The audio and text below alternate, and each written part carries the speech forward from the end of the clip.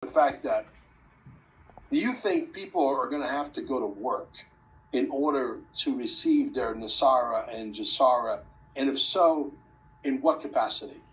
Well, this is, this is the understanding that I have. There's two. There's two. Well, if we add the XRP buyback in, there's three parts because they're they're they're all attached. The XRP buyback was actually supposed to happen first in 2021.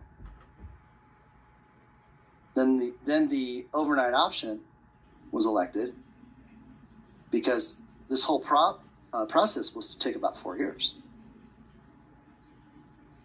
However, they realized with the cabal and, and the deep state and the need to not only get rid of them but to exterminate them, they had to make this all one project and do it simultaneously.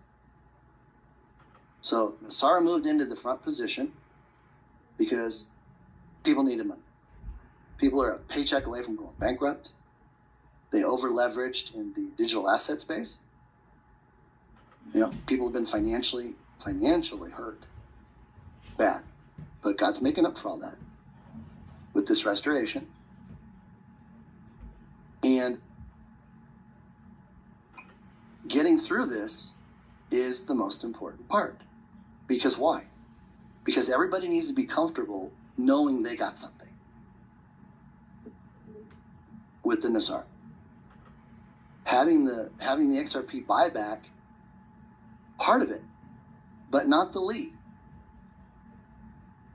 Takes care of everybody that held on to XRP.